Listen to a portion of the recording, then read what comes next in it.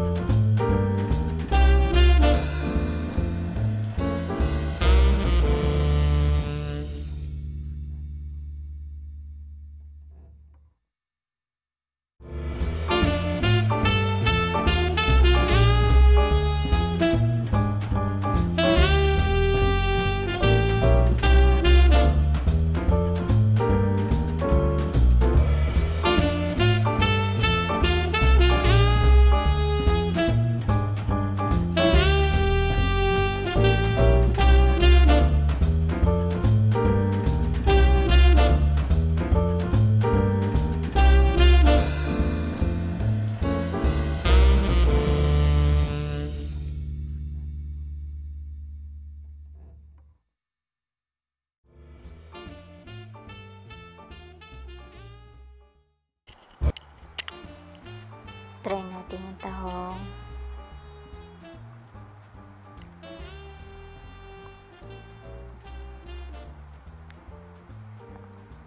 Laki.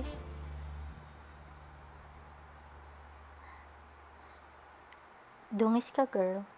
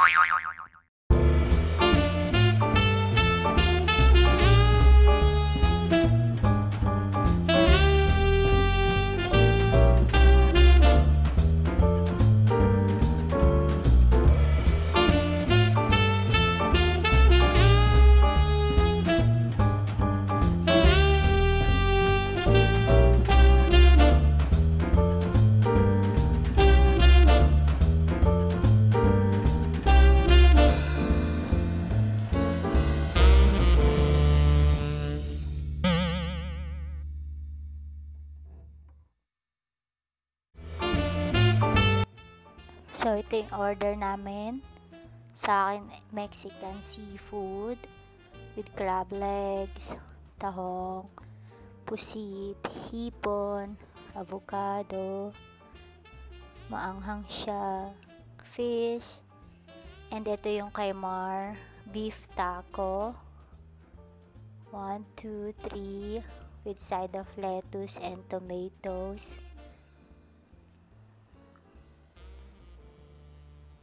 And this is fresh seafood oyster topped with tomatoes, onion, octopus, and uh, shrimp.